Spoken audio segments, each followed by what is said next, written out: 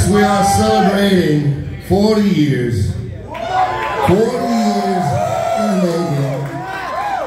40 years of Morgan Tales. 40 years of crazy adventures and everything that goes with it. So, we have a special song that's for you tonight.